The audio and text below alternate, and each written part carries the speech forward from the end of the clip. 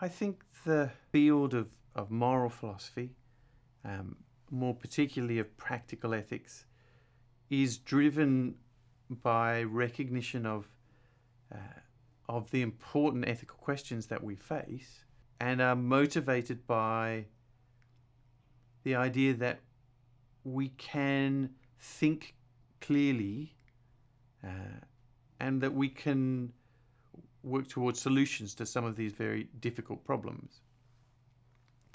Uh, one of the things that that motivates this particular area in philosophy is is its focus on the real world. So so lots of Derek's work seemed very abstract, but it was high, was intensely motivated by a concern for for the world, um, and in in particular for responding to what what might seem to be the the product of of loss of religious faith.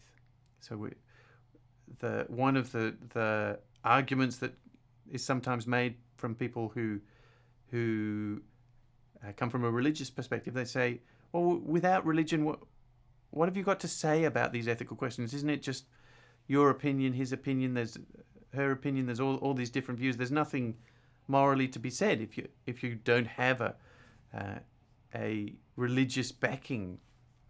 And I think Derek was was really struck by how wrong that view was. That that actually there were some very uh, important things to say about um, ethical questions that were not a, simply a matter of opinion, of, of subjectivity. That there were some uh, there were some objective moral truths to be found, and that by thinking very hard, very uh, trying to be as clear as we could about what mattered, about what was at stake, that we could make progress with some of those. And what one of the things that he mentioned a number of times when I heard him talk was that um, that there were lots of questions that, that weren't settled that we didn't have the answers to. But he often made the point that we'd only really just started to think about some of these. So it wasn't so surprising that there was still work to be done. He obviously personally felt uh, hugely driven to try and make as much progress as he could during his life um, towards some of these really fundamental questions. Uh, and he's left behind for the for those of us who are still here, huge amount of work still to do. Um, but that's the task that faces us in in practical ethics.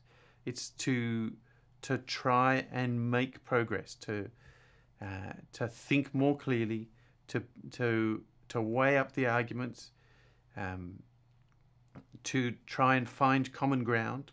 Uh, the title of his book on what matters, uh, for a long time, was called "Climbing the Mountain," and and it was based upon uh, an idea that he had, which were that was that these different approaches to ethics were climbing the mountain from different sides.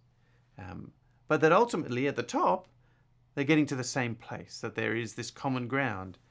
Uh, and I think that's one of the, the great challenges of ethics in this era. We have people from all sorts of different persuasions, religion, no religion, different philosophical perspectives.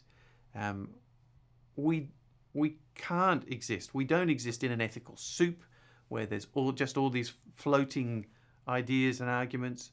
What we have to try and do is to find uh, find the the solid ground, to, to mix the metaphors, or to find the common ground uh, where we can agree uh, things that we think that everyone can agree are uh, are ways forward, um, and we and forms of compromise between our different perspectives. So so that's the, the enormous task ahead of us that uh, that Derek has has left for us to work on, and there there is still a huge amount of work to be done. But that's that's the importance. That's the the task that motivates us.